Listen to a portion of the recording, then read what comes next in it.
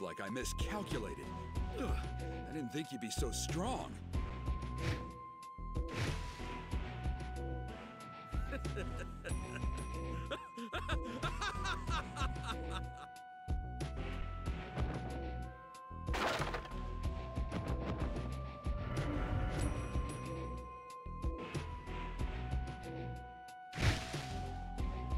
Mission accomplished, Shikamaru. Looks like you were right after all. It now. If Jiraiya gets beat, Naruto's as good as gone. I'm not so sure it's that simple. Something doesn't add up here. They gave up too fast.